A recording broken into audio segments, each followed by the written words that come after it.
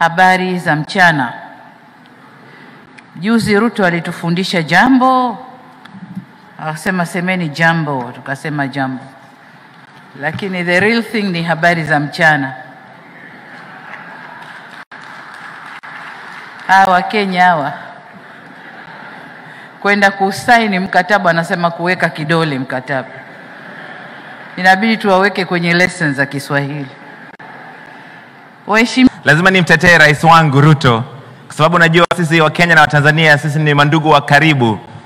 Wakenya tunazungumza na tunazungumzia wa- Watanzania kwa Kiswahili kibaya, Watanzania wanatujibu kwa Kizungu kibaya, tunaendelea, tunasonga mbele kama Injili ama namna gani?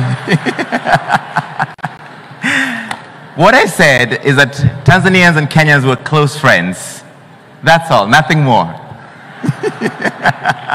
Well, there are a few other things there, but uh, this is a family matter. We're going to leave it there in the level of Swahili. We won't get into it.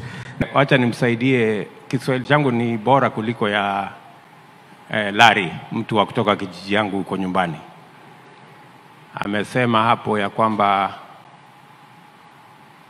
mnatuzungumzia na Kiswahili, eh, Kiingereza ambayo sio kizuri na sisi tunaongelesha Kiswahili ambazo sio kizuri.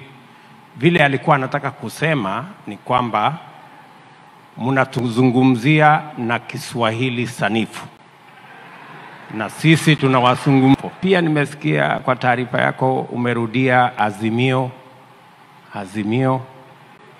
Hao watu walikuwa na azimio. Sasa nikapata kidogo wasiwasi kwa sababu kule kwetu azimio ni mambo mengine.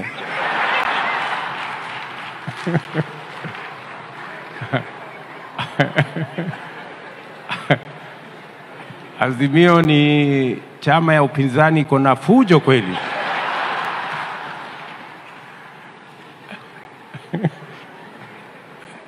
Lakini hata hivyo eh, nimeelewa tena kwamba azimio kumbe anaweza kuwa ni mambo mazuri ya makubaliano.